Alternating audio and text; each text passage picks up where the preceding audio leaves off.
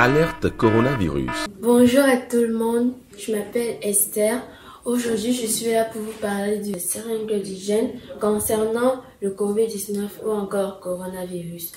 Première règle, il faut bien laver ses mains avec de l'eau et du savon. Deuxième règle, porter des cache-nez ou encore appeler des masques. Troisième règle, éternuer et tousser avec son coude. Quatrième règle, maintenir une distance de sécurité d'un mètre. Cinquième règle, se désinfecter les mains avec une solution hydroalcoolique.